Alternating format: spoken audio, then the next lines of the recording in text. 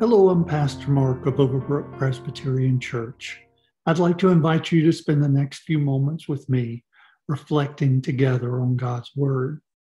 Today we'll be looking at 2 Kings chapter 19, verses 15 through 19. And Hezekiah prayed to the Lord, Lord, the God of Israel, enthroned between the cherubim you alone are God over all the kingdoms of the earth.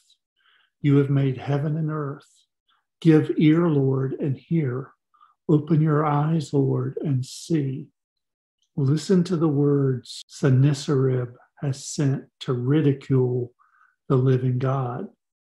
It is true, Lord, the Assyrian kings have laid waste these nations and their lands. They have thrown their gods into the fire and destroyed them, for they were not gods, but only wood and stone, fashioned by human hands. Now, Lord our God, deliver us from his hand, so that all the kingdoms of the earth may know that you alone, Lord, are God. Hezekiah was king of Judah when this was written. And the Assyrians had just been running roughshod over other cities and other kingdoms. Their army was vast, they were strong, they were a powerful military force, and they were just invading and taking over city after city, kingdom after kingdom. And they were so confident in their power and ability, they sent a letter to Hezekiah to tell him that they were going to invade Judah and take over Judah, and that he need not think that his God was going to save them because every country, every city they had overtaken had gods, and they had still prevailed and taken those gods and thrown them into the fire. And so Hezekiah, I think, does a very, very fascinating thing. He prays for Judah that they would be delivered. But did you notice why he said he wants Judah to be delivered from the Assyrians? He says he wants them to be delivered from the Assyrians. It's in the last verse. So that all the kingdoms of the earth will know that you alone are God. He's basically saying, Lord, they're talking smack about you. They're saying you're weak and you can't do anything.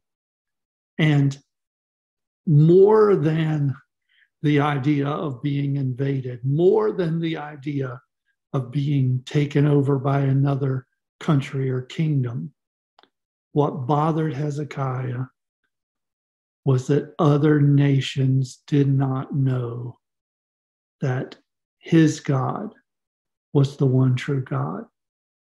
I remember when we were going on mission trips to the Dominican Republic and to Haiti, and we were going and we would go to an area, we'd partner with a local pastor.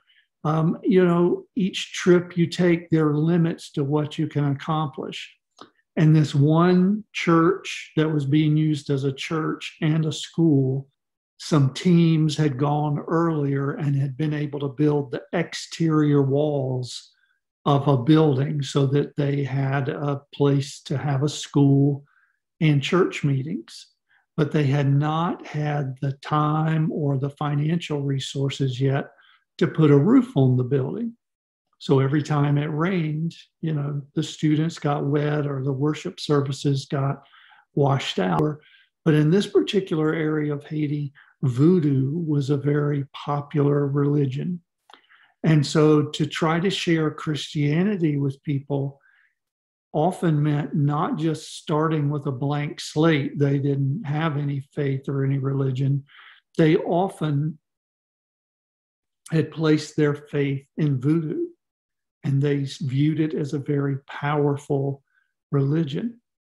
And the pastor shared with us when he called on us to see if it would be possible for us to put a roof on his church slash school. He said the main reason that he wanted that roof was because people that he would try to share Christianity with would laugh at him and laugh at God and say, Why should we follow your God? Your God is a weak God. Your God isn't even powerful enough to put a roof on his own church. And so he just pleaded with us to come and put a roof on the church. And you would think, oh, so your worship services don't get washed out, or oh, so you don't have to cancel school because it rains. But all of those things were true. I mean, all of those things a roof would have affected.